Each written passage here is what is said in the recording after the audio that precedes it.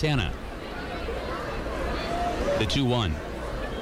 Swinging a bullet down the right field line. That's a base hit, and it rolls all the way into the corner. This is going to score Murphy from second easily, and given the stop sign at third is Stephen Patterson. A big night for Francisco Mejia. An RBI double puts Lake County out 5 to 2.